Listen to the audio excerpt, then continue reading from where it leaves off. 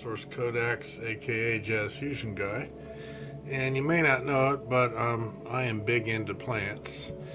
And this is a very rare plant that is blooming right now, mid June, in Raleigh, North Carolina, USA. It is called the century plant, uh, also known as um, agave ovatifolia. It usually blooms in its natural habitat once every 100 years.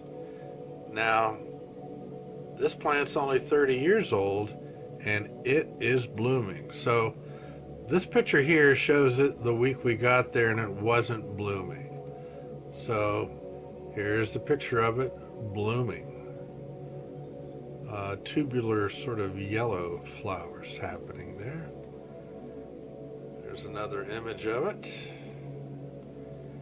Here's an idea gives you the size of it. You see these people standing next to it. And here it is in full bloom, at least the lower portions. Very, very unique plant. Here's another picture of the blooms. Here it is against the sky against the sky again. Here's my hand held up touching the uh, lower portion of the plant to give you an idea of the size of the leaf.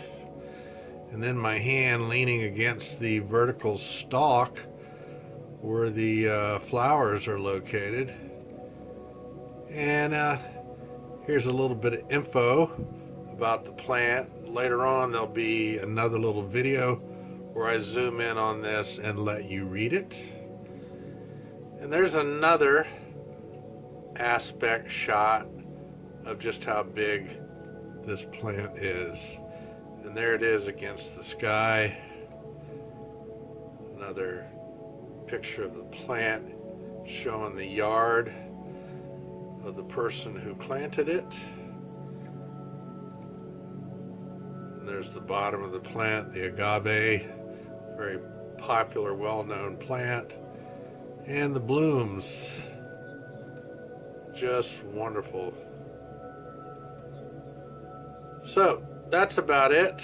The uh, rest of the video uh, follows.